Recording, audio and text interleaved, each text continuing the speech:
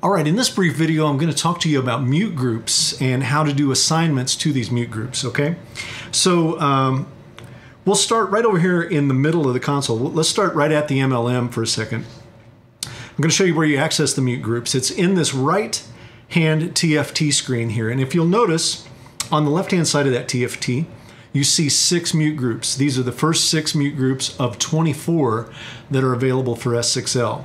These six mute groups will be on the top level at all times. You'll be able to get to them no matter where you are on the console.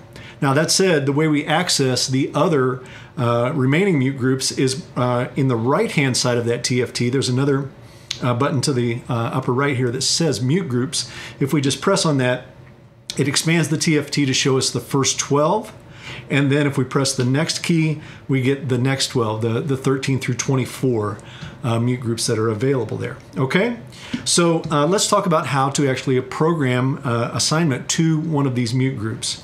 Uh, mute group assignment is a multi-assign workflow. Now, it is uh, different from the other multi-assign workflows only in the fact that it needs to be initiated from the universe screen okay uh, so let's go do that right now as you can see on the universe view I have inputs up right now and I'm just going to go select mutes and you can see uh, on the mutes page we have an attention uh, touch button that lets us know that we're attentioning whatever we touch. So the first move is to attention the mute group that you want to program. I, I'm just going to do number one. We'll just do mute group number one. From then you need to from there you need to attach it to multi-assign workflow. So there is a touch button on the universe screen that says multi-assign. We can use that one or we can use the one on the control surface. Either either place is going to be uh, the same move. The point being, it has to come from the universe screen. This has to be you have to be on this screen to be able to get into the programming mode. All right. So we've attentioned our mute group. We're in multi-assign mode now. Now anything that we attention will be assigned to that mute group, be it input, output, whichever we decide to do. And of course we can do that in two ways now. Uh, we can do it with the regular attention buttons on the channels themselves. And this is certainly doable. We can certainly do it this way if we choose to do it. Um, but it's going to require that we bank down through all of the inputs and outputs to get to what we want. There's actually an easier way to do it, and it's taking advantage of the universe view. So, for instance, if we go now to the inputs page of the universe view, we can see the channels that are in this mute group assigned. Matter of fact, we can see all the channels just by scrolling, and we can get to them very, very quickly. Same thing for outputs. If we want to add additional outputs to this mute group, uh, auxes, groups, matrices, whichever we choose to add to the mute group, uh, we can do that there. It's actually a much faster way, I think, than actually tunnel, tunneling down uh, through your banking. All right.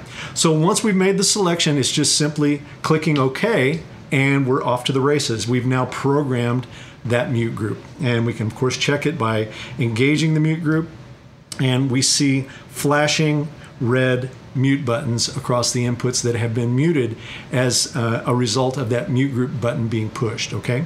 So this is probably as good a time as any uh, to also describe how our mute statuses work here. As you notice right now, they're flashing. Uh, but there are other uh, mute modes that we can uh, initiate while it's doing this all right? So let's say for instance I actually wanted to unmute a channel without unmuting the rest of the uh, the group. I don't want to have to unmute the mute group I just want to unmute the single channel. Well of course we can do that at any point here. A single press of a uh, channel that is in that mute group and uh, has a flashing mute will simply unmute it. I've kind of isolated a channel right here in the zoomed view so that we can concentrate on that. All right. So you can see the other channels are still uh, muted as a result of the mute group, but one of the channels is now unmuted. All right. So what happens now if we want to remute that channel? Well, we can just simply remute it. Now notice that that channel has a solid mute group, or mute light now, right? Okay, so that this is going to be called an implicit mute, meaning uh, even if we un- unmute the mute group now, that channel is still going to stay muted. All right, we've kind of overridden the group there uh, to get it muted. Okay, so I'm going to go back to our mute group assign. You'll see that everything is flashing. So the question then becomes, well, how do I get it back under the control of the mute group? It's just one more press of the mute button, and now it's flashing signaling to you that it's under control of the mute group. And of course, if we unmute the mute group, they all become unmuted. Okay, so kind of a three-stage affair there. We have mute group uh, mutes, unmute, implicit mute, and then back to the mute group again. Okay, so it's a really really handy feature. Uh, it, uh, it it really works great to be able to access a channel quickly while you're while you have things muted without having to unmute all of the channels at once. It's a it's a great workflow. All right, that's going to do it for mute group assignment.